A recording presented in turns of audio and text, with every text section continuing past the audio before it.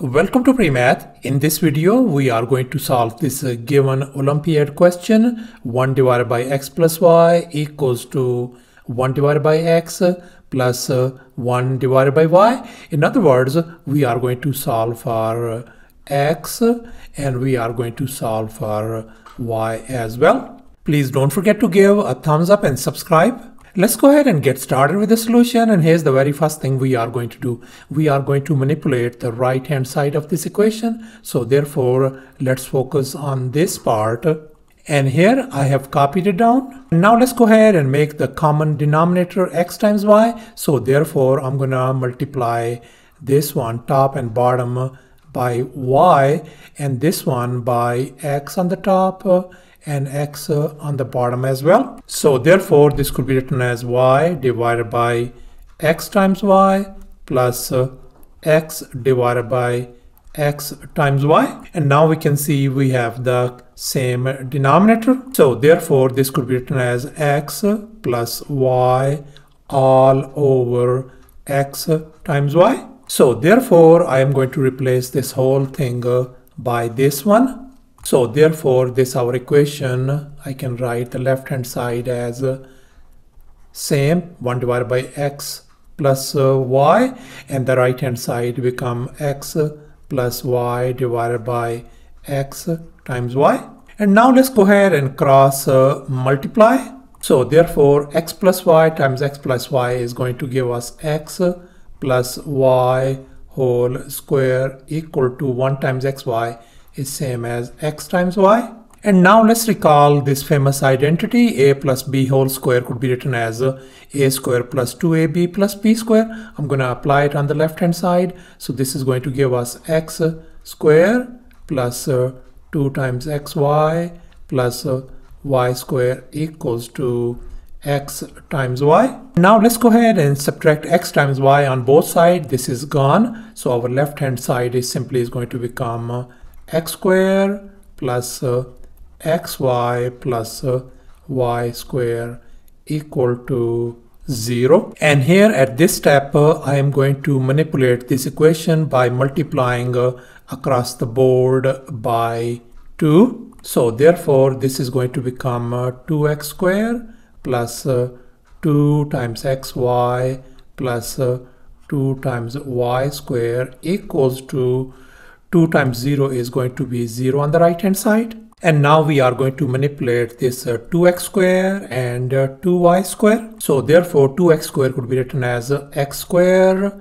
plus uh, x square plus, uh, I'm going to write this one same. So it's going to be a 2 times xy plus 2y uh, square. I'm going to write down y square plus y square equals to 0. Now let me go ahead and rearrange then I'm going to put down x square, this uh, 2xy and y square first.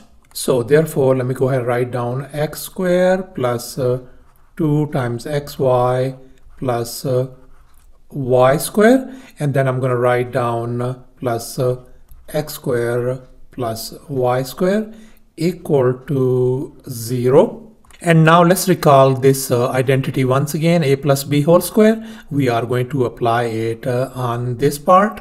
So therefore, this could be written as x plus uh, y whole square and then plus finally x square plus uh, y square equal to 0. And now let's focus on this x plus y whole square, x square and uh, y square. And here I have copied them uh, down. And we know that this x square is going to be always uh, greater than or equal to 0. Likewise, uh, y square is going to be greater than or equal to 0. And finally, plus x plus y whole square is going to be greater than are equal to 0 as well. But we know the right hand side is just 0. So therefore this uh, x plus y whole square has got to be just uh, 0. This x square could be written as equal to 0 and finally y square is equal to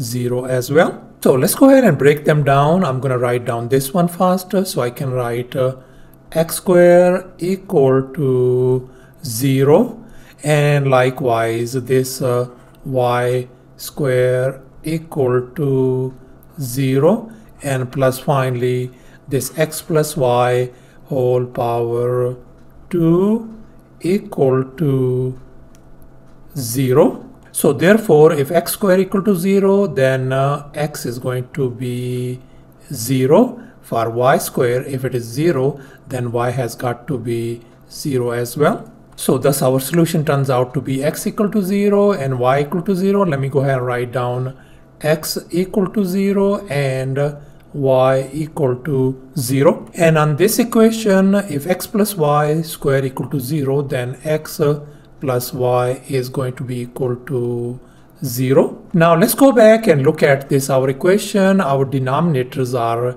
x y and x plus y and we know that these denominators x y and x plus y cannot be 0 so therefore we conclude that x can't be equal to 0 and likewise y cannot be equal to 0 as well. So thus our conclusion is uh, no solution to this uh, equation. So thus we have no solution to this problem. Thanks for watching and please don't forget to subscribe to my channel for more exciting videos. Bye.